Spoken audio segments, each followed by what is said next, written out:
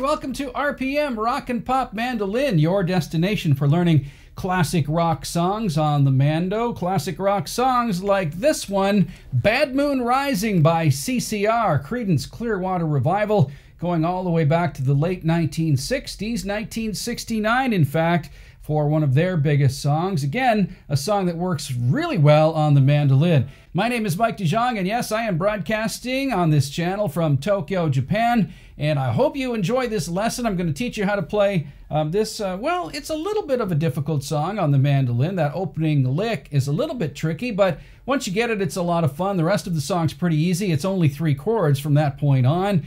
But that opening riff requires, well, it's almost like a little bit of a bluegrass technique there. I'll show you what that is all about once we zoom in. But first, uh, once again, if you haven't subscribed to this channel, please do so by hitting that little red button down there on the right hand lower part of the screen. It really helps me to continue producing videos uh, like this one on RPM. Also, like the video if you can down below and leave some comments if you feel like it about this video or any other songs that you might want me to do. So without waiting any longer, let's dive into the late 1960s and Bad Moon Rising by CCR for mandolin. The main chords to this song, let's uh, start off with that, are D to A, G, D. All right, D, A, G, D. D, A, G, D. All right, so over those chords, and, and I'm using these more closed voicings in this one. You could play it with open voicings. I find that for this song, you really need more of a staccato sort of sound. So you need to be able to cut off those chords, to chop those chords a bit. So play that D voicing here, right? Which is starting at the second fret of the G string, right there. That's an A note. Then you've got the F sharp note, which is the fourth fret of the D string, and then you got the high D root here, fifth fret of the A, uh, the A string. So, right, chop it. And then you can chop these voicings as well for the A chord, A, G, D. So that A voicing is here. It's on the sixth fret of the G string, right? Sixth fret of the G string, and then you've got the seventh fret of the D string, and the fourth fret up here on the A. So that's an A chord. You just shift that whole uh, voicing down two, two frets, and you got a G chord there, right? So here it is.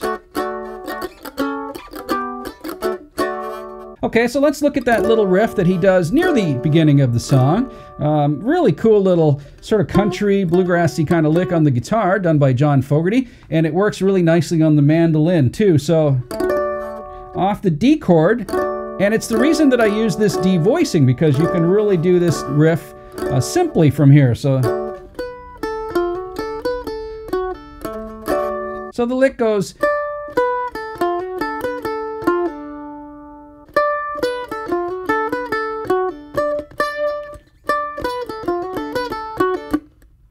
All right, so what is that lick? Well, it's a D down to the, the D at the fifth fret of the A string, down to the second fret, which is a B note, and then the open A.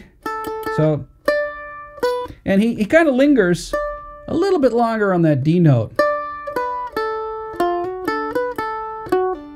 Right? And then I hammer it here. So,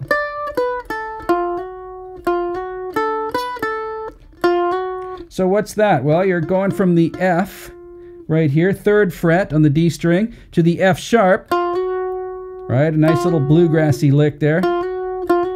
From the flatted third, which is the F, to the natural third, which is the F sharp in the key of D, right? You're in the key of D, so so you hammer, you go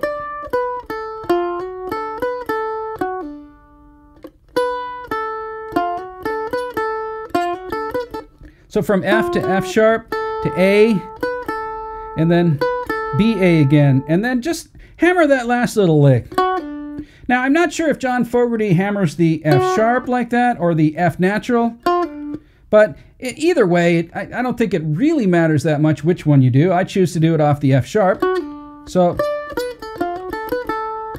like that. And the only other part that you really have to worry about in this song is, uh, I guess, the, uh, the the chorus part, which goes.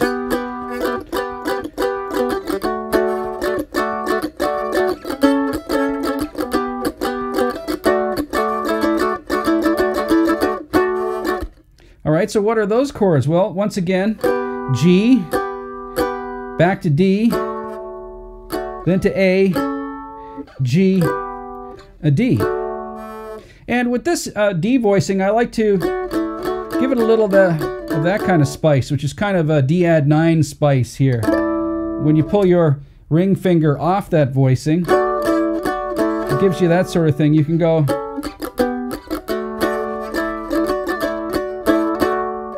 That's a nice little little sound there that perhaps is a little bit more unique to the mandolin for this song, but sounds really cool in this riff. So one more time the chorus.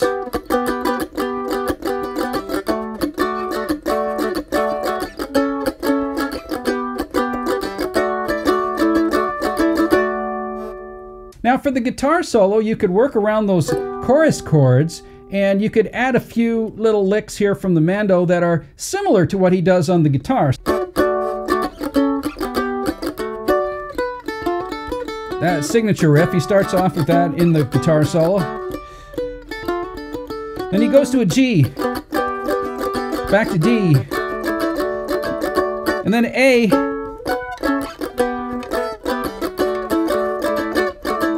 So what did I do there on the A and the G? Well, I just I just reached my pinky over to grab that one extra fret just above the root, which makes it, again, makes it sort of a ninth voicing here. And that's similar to what he does on the guitar version uh, of the original track. He does that in the guitar solo. So.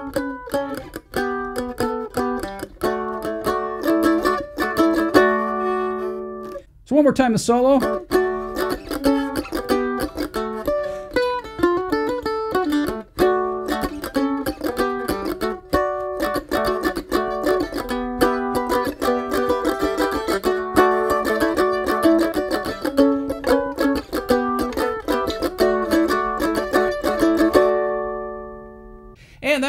Moon Rising by CCR for mandolin. I hope you enjoyed this lesson. I hope you uh, get a lot out of it and learn to play this song. It will impress your friends if you can do that opening riff on the mandolin. My name is Mike DeJong. Thanks very much for subscribing and tuning in to RPM Rock and Pop Mandolin. If you haven't subscribed already, please do me a favor and do so by hitting that little red button down below. It really helps me to continue with this website. Once again, from Tokyo, Japan, thanks very much for tuning in to RPM Rock and Pop Mandolin.